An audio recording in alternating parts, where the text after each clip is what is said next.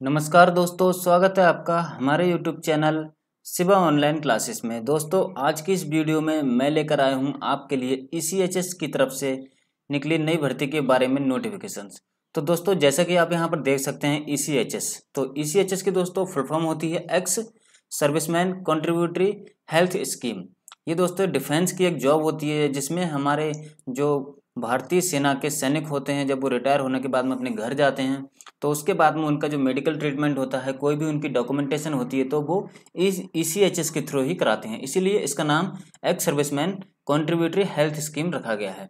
तो दोस्तों, ये नई भर्ती निकली हुई है ई सी एच एस में। किस किस पोस्ट के लिए निकली हुई है, आप यहाँ देख सकते हैं।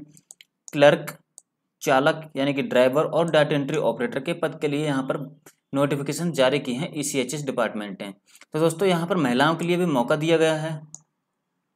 योग्यता आपकी होगी eighth and tenth pass age आपकी 18 से 25 साल है वैकेंसी रिलीज़ हो चुकी हैं दोस्तों। आवेदन कब शुरू होंगे? और मेल और फीमेल यहाँ दोनों ही इस भर्ती में अप्लाई कर सकते हैं।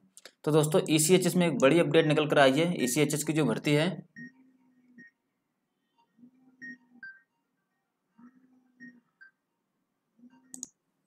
तो दोस्तों, यहाँ पर आप देख सकते हैं कि हम आ चुके हैं यहाँ पर ex serviceman contributory health scheme यहाँ पर आप देख सकते हैं ई सी एच एस दो हज़ार बीस में जो रिक्रूटमेंट है, उसकी भर्ती के लिए अप्लाई करने के लिए फॉर्म अवेलेबल हो चुके हैं।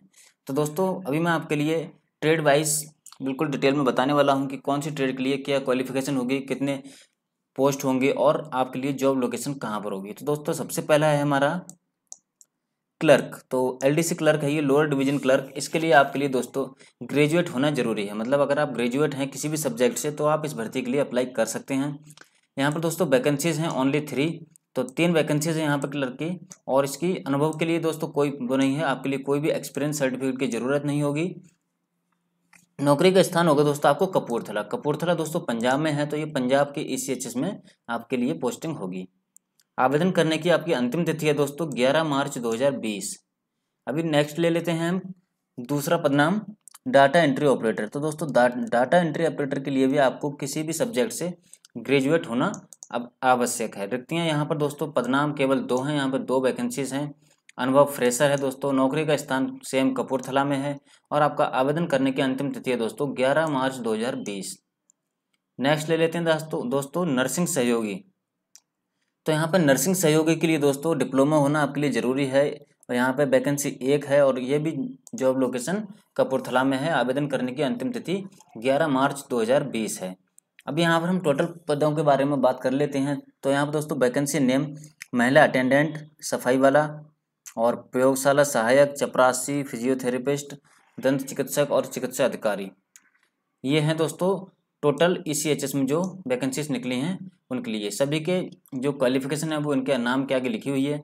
महिला अटेंडेंट एनी ग्रेजुएट एक वैकेंसी है। सफ़ाई वाले टेंथ और एट्थ हैं। इसके लिए भी एक वैकेंसी है। प्रयोगशाला सहायक एनी ग्रेजुएट इसके लिए भी एक पद है और चपरासी के लिए आपको टेंथ पास होना आवश्यक है। इसके लिए भी एक पद है। फिजियोथेरेपिस्ट के लिए ग्रेजुएट होना आपको ज़रूरी है। इसके लिए भी आपको एक पद है और दंत चिकित्सा अधिकारी मास्टर ऑफ़ डेंटल सर्जरी एक पद और चिकित्सा अधिकारी में आपके लिए एमबीबीएस होना ज़रूरी है। यहाँ पर आपके दो पदनाम होंगे। तो दोस्तों, चयन प्रक्रिया आपकी इच्छुक और योग्य उम्मीदवार 11 मार्च 2020 से पहले अपने आवेदन कर सकते हैं।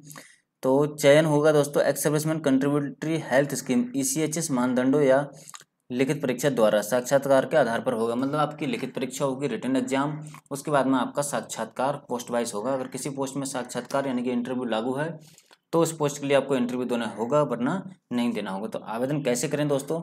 यहाँ पर आप देख सकते हैं, इनको आप ध्यान से पढ़ लीजिएगा, इसमें पूरे डिटेल में दी हुई है। इसका जो लिंक है वेबसाइट के, मैं आपको वीडियो के डिस्क्रिप्शन में दे दूँगा। तो वहाँ से जाकर आप इसके बारे में पूरा पढ़ सकते हैं कि कैसे इस भर्ती के लिए अप्लाई करना है। तो दोस्तों, ये थी हमारी ई e की वैकेंसीज़ के बारे में कुछ डिटेल आपके लिए, जिसमें क्लर्क और डाटा एंट्री ऑपरेटर और बाकी मैंने जो पद के नाम बताएँ सभी के लिए वैकेंसीज निकली हुई हैं।